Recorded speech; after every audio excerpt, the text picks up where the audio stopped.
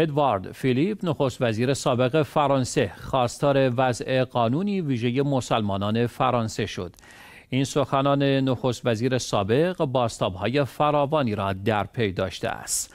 ناظران معتقدند سخنان ادوارد فیلیپ یک چالش جدی برای جناح راست و امانوئل ماکرون رئیس جمهور به وجود خواهد آورد چرا که نخست وزیر سابق فرانسه گفته است قانون و نهاد نظارتی جدید برای مقابله با اسلام ضروری و اجتناب ناپذیر است.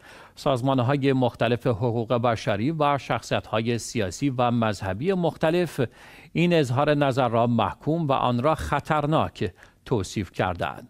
ادوارد فیلیپ در آخرین کتاب خود با عنوان مکانهایی که سخن می‌گویند نوشته است می توان قانونی ویژه را برای مسلمانان وضع کرد که بر اساس آن مسلمانان و مسئولان جوامع اسلامی الزامات و تعهدات ویژه‌ای داشته باشند. نخست وزیر سابق فرانسه در اظهارات ضد اسلامی خود پا فراتر نهاده و قانون موسوم به قانون 1905 درباره جدایی دین از سیاست را زیر پا گذاشته و مدعی شده که این قانون را نمی‌توان درباره مسلمانان اعمال کرد چرا که دین مسلمانان هم این قانون را قبول ندارد. قانون 1905 در واقع قانون جدایی دولت از کلیسا در فرانسه است. که در دسامبر 1905 میلادی تصویب و لازم الاجرا شده است.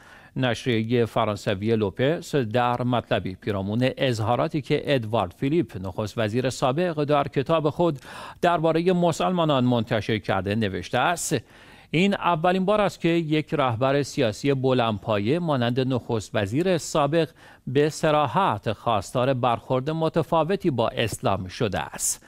اظهار نظری که خطرناک توصیف شده و حدود پنجاه شخصیت آن را محکوم می کنند.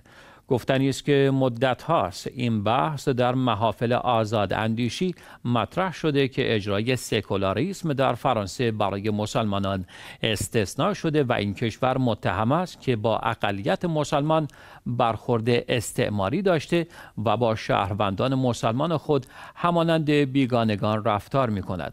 ممنوعیت عبایه طی این ماه در مدارس فرانسه لباسی که برخی از زنان مسلمان می بوشند به عنوان یکی از نمونه های اخیر از این گونه رفتارهای دوگانه با مسلمانان ذکر شده است.